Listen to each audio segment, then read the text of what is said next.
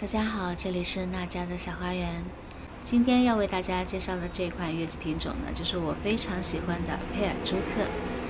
大家现在看到的这棵佩尔朱克呢，是我去年买的扦插小苗慢慢养大的，所以现在呢，大概就是一年左右的苗龄。之前有花友问过是不是嫁接苗，不是。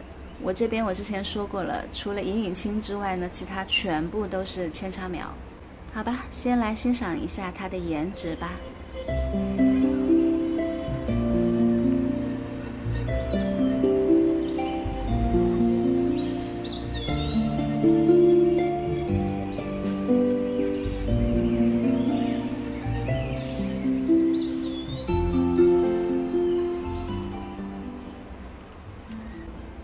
记得之前有一个花友问我，如果佩珠、婚礼盒、乙女星、衣服粉、伯爵这几种月季放在一起，你最喜欢哪一种？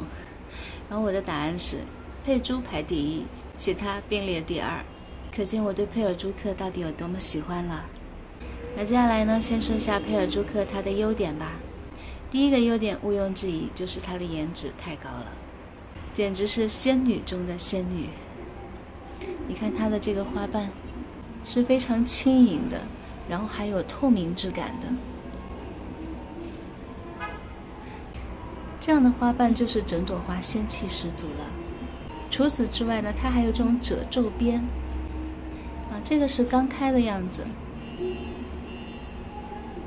那完全打开之后呢，里面的这种褶皱边，层层叠叠的，也是非常的可爱。那这个花朵再开久一点呢，就是这种，里面是近乎白色的，一层一层堆叠在一起，看起来也同样非常的美。然后它的花香应该是属于中香吧，不是特别浓烈，但也不是特别浅淡。难得的是它的花期还很久，一朵花开个十天以上没有什么问题。所以从花型、花色、花香、花期这四个方面来说，佩珠几乎是没有什么特别可以挑剔的地方了。那很多花友呢也在吐槽说佩珠的叶子丑，嗯，这个叶子呢确实是这么卷卷的，好像不是特别精神生病的样子。但这一点对于我来说呢影响不是特别大，我主要看的是它的花嘛。不过这种叶子呢，在夏天的时候还是要注意一些，因为它这个叶子呢是这样向后翻卷的，所以这里面呢很容易藏红蜘蛛。夏天的时候呢，需要做好冲水预防红蜘蛛的工作。另外，佩尔朱克在小苗期间，它的根系确实是比较弱的，比较容易感染白粉病的，所以白粉病的预防呢也要重视起来。除此之外呢，佩珠还是有缺点的。你看它的这些枝条是比较细软，然后花朵也是比较大的。所以，当它开花的时候呢，容易直立性不好，会有点微微垂头的现象。那这一点呢，在小苗期特别容易发生，就是垂头的现象。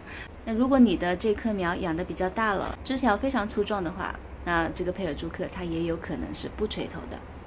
另外一点呢，就是佩尔朱克它这个根系相对来说还是比较弱的，所以说如果从扦插小苗带过来的话，你还是需要有一些养护月季花的经验的。你要知道，根系弱的月季品种相对来说呢，配土需要更加疏松透气一点。养护过程当中呢，尽量偏干养。小苗期间以养根为主，当它慢慢长大之后呢，一切就会变得越来越好啦。好的，那今天的视频呢，就先到这里啦，下期再见，拜拜。